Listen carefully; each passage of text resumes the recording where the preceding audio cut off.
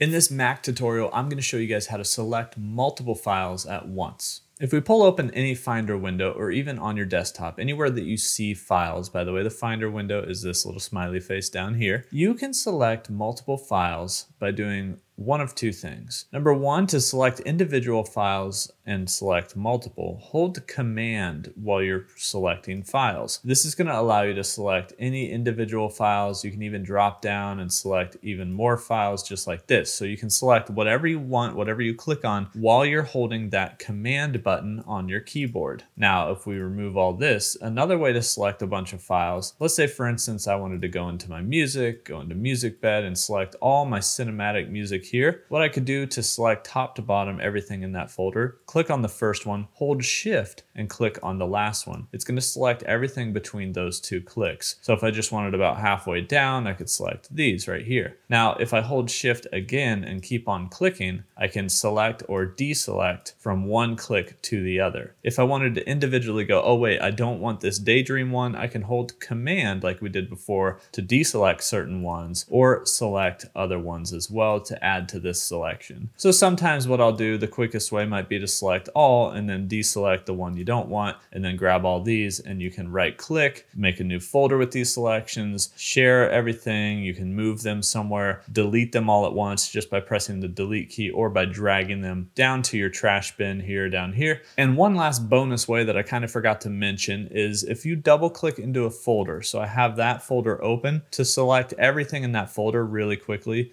you can press Command A. That's going to select everything. Then, of course, you could use Shift or you could use your Command key to deselect any items if you want to from there. Those are the three ways to select multiple files on a Mac.